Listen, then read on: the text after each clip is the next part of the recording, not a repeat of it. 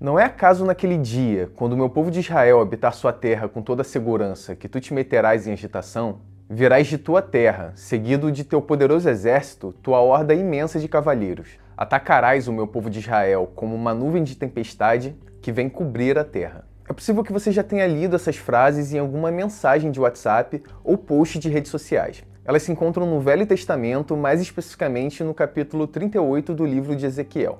Provavelmente escrito no século 6 a.C., o texto do profeta Ezequiel é também citado no capítulo 20 do livro do Apocalipse. Ele fundamentaria o que seria, dentro da ideia de fim dos tempos, o ataque final à terra de Israel.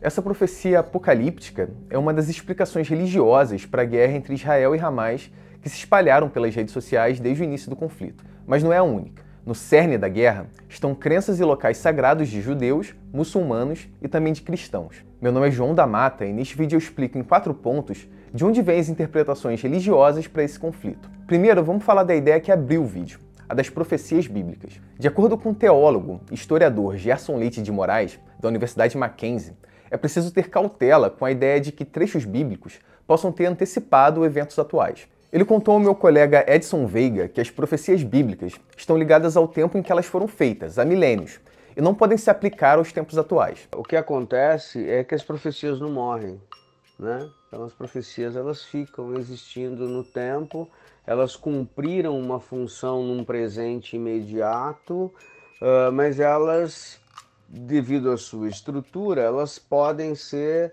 ressignificadas, requentadas e trazidas novamente para qualquer outro momento da história. O teólogo e cientista da religião Andrei Mendonça reforça que textos proféticos não versavam sobre o futuro. Segundo ele, os profetas eram pessoas enviadas por Deus para chamar atenção aos desvios dos mandamentos ao livro sagrado dos judeus, a Torá, ao arrependimento e ao retorno do caminho da justiça. Portanto, não há uma ligação entre textos sagrados e eventos futuros, dentro de uma visão apocalíptica de fim dos tempos, como é comum de se observar nesse tipo de narrativa.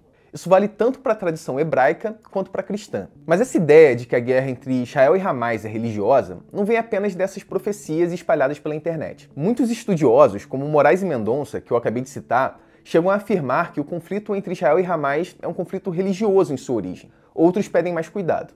Aqui a gente vai mostrar os dois lados a respeito dessa questão, começando pelos que acham que o conflito tem origem religiosa. Gerson Leite de Moraes diz que cada um dos lados se considera representante do bem e imbuído de uma missão de Deus, e que essa missão incluiria a necessidade de ocupar a terra e eliminar aquele que é um obstáculo à sua liberdade religiosa, à sua existência. Moraes complementa dizendo que há também outros fatores em jogo, que podem ser econômicos, políticos ou sociais, mas que a força mobilizadora nesse contexto, o combustível do conflito, é sim religioso. E esses outros elementos viriam a reboque disso. Por isso, segundo ele, não há a menor dúvida de que se trata de uma guerra religiosa.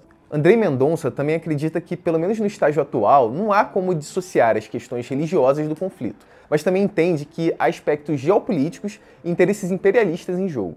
Já o historiador hebraísta e rabino Tel Rotz pensa de forma diferente. Para ele, trata-se de uma guerra territorial e de sobrevivência, e não religiosa. Rotz afirma que o sionismo, o movimento que impulsionou a migração de judeus para a Palestina e a criação do Estado de Israel, era um movimento político e não religioso. Rotz argumenta que não havia rabinos entre os teóricos de formação do movimento. Por isso, a princípio, o sionismo não seria dotado de um caráter religioso. É verdade que tardiamente houve a aderência de religiosos ao sionismo, mas isso teria sido um movimento feito por visões de mundo políticas e não necessariamente religiosas. Rhodes reconhece que elementos religiosos foram sendo incorporados ao conflito ao longo do tempo, mas eles não seriam a sua origem.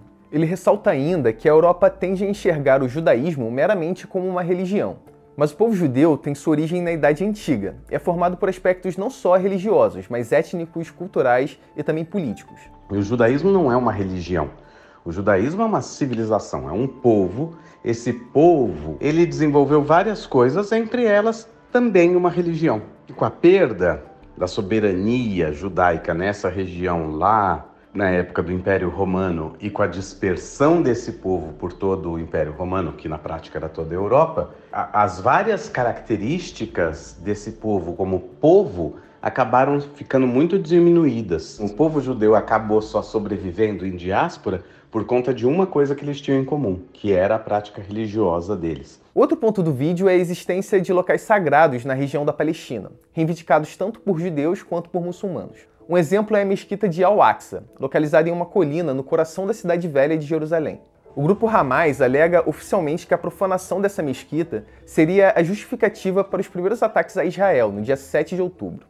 Mas por que esse local é sagrado para as duas religiões? Segundo a tradição judaica, foi exatamente ali que foram construídas as duas versões do Templo de Jerusalém, onde ficava a chamada Arca da Aliança, que guardava os mandamentos dados por Deus a Moisés. A mesquita de Al-Aqsa foi erguida ali no século VII. O local é sagrado para os muçulmanos porque, de acordo com o Alcorão, foi para este local que Maomé foi transportado milagrosamente de Meca e levado aos céus. Israel tomou posse da área onde está a mesquita de Al-Aqsa na guerra de 1967, com seus vizinhos árabes e a anexou junto com o resto de Jerusalém Oriental e partes próximas da Cisjordânia. As áreas estavam sob controle jordaniano na época, e a ação de Israel nunca teve reconhecimento internacional. Hoje em dia, as edificações religiosas da esplanada das mesquitas, onde fica Al-Aqsa, são controladas pela Jordânia por meio de uma fundação independente do governo israelense, conhecida como Waqf. O local historicamente enfrenta tensões por questões de soberania e religião.